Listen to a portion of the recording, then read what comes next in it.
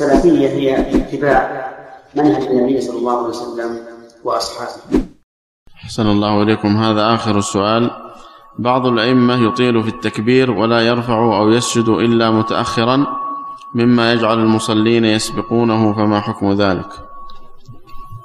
الأولى حذف التكبير وعدم عدم مده. لئلا يحصل ما ذكره السائل. آه، التكبير يحذف حذف يعني يختصر لفظه حتى لا يحصل عند المأمومين تباطؤ بسماع صوت الإمام الممدود هذا هو الأولى. نعم.